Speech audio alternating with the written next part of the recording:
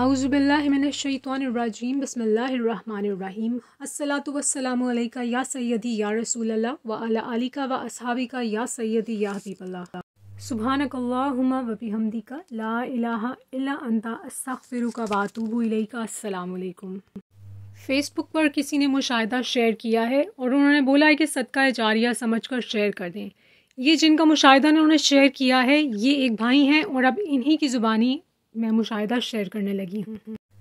जिन भाई की ये बात है वो कहते हैं कि इनके ऊपर 2015 और 16 में सख्त तरीन जादू और जन्नात के असरात थे। घर में बहुत ज़्यादा घुटन महसूस होती थी। दिलो दिमाग पर बोझ सा रहता और घर में भी हर वक्त लड़ाई झगड़ा रहता। इसके अलावा रोज़गार भी नहीं था और घरेलू हालात भी परेशान कन। इस मकसद के हल के लिए मैंने बहुत ज़्यादा व्यर्थ वज़ाइफ किए जिनका सेहत पर और मामलात ज़िंदगी पर बहुत बुरा असर पड़ा। फिर मैंने कहीं से पढ़ा कि दुरूद पाक ऐसा वजीफ़ा है जिससे कभी भी रिजत नहीं होती। बस, फिर क्या था? मैंने दुरूद पाक पढ़ना शुरू कर दिया। अब ये कहते हैं कि 2016 की ये बात है, शुरू के तीन चार महीने दुरूद पाक पढ़ते हुए शदीद घुटन का एहसास होता। ऐसा महसूस होता कि दुनिया जहान की मुश्किल और बीमारियाँ सिर्फ़ और सिर्फ़ इन्हीं के साथ हैं। दिलो दिमाग पर बोझ पड़ने लगता। इनके साथ जन्नात वगैरह के भी असरात थे, जिसकी वजह से इनका दिल चाहता कि ये चीखे मारें।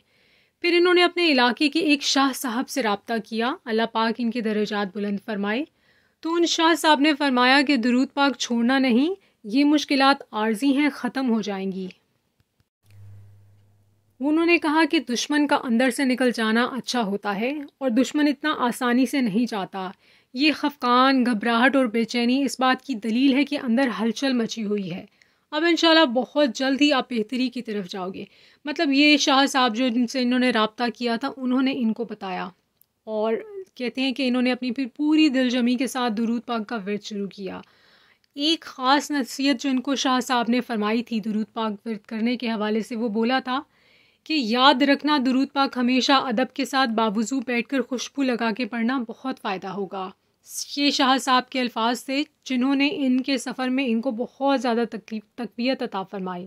ये कहती हैं कि अल्हम्दुलिल्लाह, दुरूद पाक फिर उन्होंने शाह साहब के बताए हुए तरीके उसी तरतीब से पढ़ना शुरू कर दिया, यानी कि खुशबू लगा के बैठते और बहुत अदब के साथ दुरूद पाक का वर्त करते हैं। के ऊपर क्योंकि जादू जन्नात के मामला थे, असरात थे तो ये कहते हैं कि सबसे पहले तो दुरूद पाक पढ़ते ही इनको बहुत ज़्यादा पसीना आता और उसके बाद इनको ऐसा लगता कि मनो बोझ ऊपर से उतर गया है।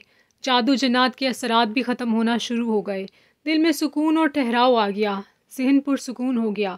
घर में चैन और इतमान आ गया। रिस्क के दरवाजे गैब से खुलने लगे, माशाल्लाह।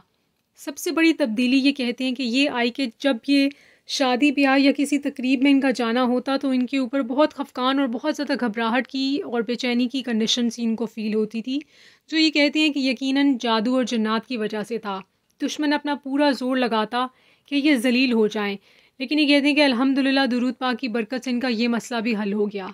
इसके अलावा दुरूद पाक की बरकत से इन्होंने इनको माशाल्लाह से इनका अपना बहुत खूबसूरत घर अता फरमाया, जिसकी तामीर मरम्मत कैसे हुई, कहते हैं कि ये अल्लाह ही बेहतर जानता है। इनको ख्वाब बहुत अच्छे आने लगे। इसके अलावा अल्लाह ताला ने इनको बहुत अच्छी जॉब इनायत फरमा दी।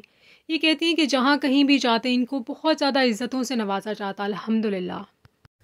ये कहते हैं कि अगर दुरूद पा के मुशाह बरकत, बरक़ात ये बयान करना शुरू कर दें तो कहते हैं कि पूरी किताब लिखनी पड़े। अल्हम्दुलिल्लाह, आठ सालों का ये सफ़र दुरूद पाक के विरद का जो था, ये कहती हैं इनको इसमें अल्लाह ताला ने बहुत नवाजा। इनके सब घर वालों ने माशाल्लाह से एक करोड़ मरतबा दुरूद पाक विरद करने की नीयत की हुई है। अल्लाह कबूल फरमाए। और इनका पैगाम है कि सब लोग, आप सब भी दुरूद पाक एक करोड़ मरतबा विरद करने की नीयत कर लें। इन सारे मसाइल दुरूद पाक से हल हो जाएँगे। ये बहुत सारे डिफरेंट डिफरेंट तरह के दुरूद पाक वर्त करते हैं, जिसमें दुरूद तंजीना, दुरूद सदका, दुरूद शिफा और दुरूद मुक़दस हैं। लेकिन ये जो अभी स्क्रीन पर आपको दुरूद पाक नज़र आ रहा है, सबसे ज़्यादा इनके वर्द में यही वाला सीगा है। माशाल्लाह माशाल्लाह, अल्लाह ताला इनको मज़ीद अता फ़रमाए, तमाम दुरूद पाक वर्द करने वालों को अता फ़रमाए, पूरी उम्मत पर इनायात की बरसात फ़रमाए, आसानियाँ अता फ़रमाए, आमीन सुमामीन। दुरूद पाक व्यर्थ करते और करवाते जाएँ, दुरूद पाक लिखते और लिखवाते जाएँ। एक करोड़ की नियत करते और करवाते जाएँ और दुआ में पूरी उम्मत को याद रखिए, इजाज़त दीजिए। असलातु वस्सलामु या सैदी या रसूलल्लाह, व अला अलिका व असहाबिका या सैदी या हबीब अल्लाह